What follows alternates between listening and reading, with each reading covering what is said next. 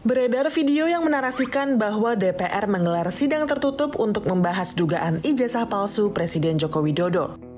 Salah satu channel YouTube membagikan video tersebut pada 9 Oktober 2022.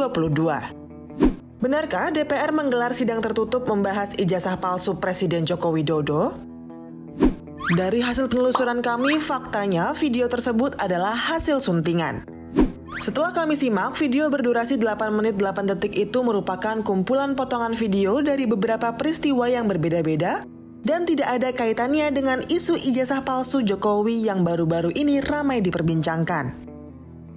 Kesimpulannya, klaim pada video yang beredar bahwa DPR menggelar sidang tertutup membahas ijazah palsu Presiden Joko Widodo adalah salah.